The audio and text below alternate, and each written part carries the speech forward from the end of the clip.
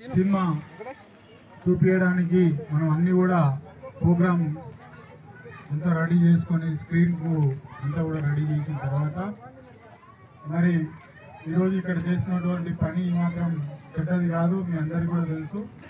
మరి గ్రామంలో మన విలేజ్ గ్రూప్లో మేము నాలుగు గంటలకు మెసేజ్ చేయడం జరిగింది. దాని తర్వాత పోలీసు వాళ్ళకు ఫోన్ చేసి ఈ విధంగా స్క్రీన్ బంద్ చేయాలని చెప్పేసి వాళ్ళు ఏ విధంగామైనటువంటి ప్రయత్నాలు చేసి పోలీసు వాళ్ళని ఇక్కడ పంపించి ఈ విధంగా స్క్రీన్ను ఈరోజు నడవకుండా చేయడం అనేది చాలా బాధాకరమైనటువంటి విషయం. ఈరోజు నిజంగా చెప్పాలంటే బల్గం సినిమా అనేది ప్రతి గ్రామంలో ప్రతి పల్లెలో ఈరోజు నాయకులు కావచ్చు యువకులు కావచ్చు ఎవరి దగ్గర డబ్బులు ఉన్నా లేకపోయినా కానీ ఈ బల్గం సినిమా అనేది గ్రామంలలో చూపియాలి మన గ్రామాలు బాగుపడతాయి. ఈ అన్నదమ్ముల మధ్యలో సిచ్చు పెట్టడము సిచ్చుతో రగులుతున్నారు. ఈ విధంగా ఉండొద్దు అని చెప్పేసి తెలంగాణలో వేణు అని చెప్పేసి ఒక మంచి వ్యక్తి మన ఈ మూవీ తీయడం జరిగింది. దీన్ని కూడా గ్రామాలలో అంతటా కూడా స్పెండ్ చేయాలని చెప్పేసి వాళ్ళు యాభై లక్షలు పెట్టేసి అది ఒక యూట్యూబ్ అతను తీసుకొని గ్రామాలలో స్పెండ్ చేయడం జరిగింది.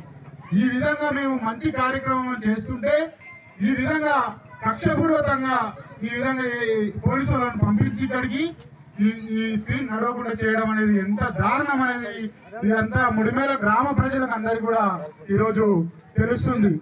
ఇది ఎంత దారుణం అంటే ఇలా మేము చేస్తున్నటువంటి పని ఏమన్నా ఇక్కడ దురుద్దేశంతోనూ కానీ లేకపోతే రాజకీయంగా కానీ ఆ శ్రీరామచంద్ర భగవంతుని మీద ఒట్టే చెప్తున్నా ఈ రోజు నేను ఏ రాజకీయం చేయకుండా కానీ ఇలా ఒక చెవెళ్ళ రచ్చబండలో కూడా నడుస్తుంది.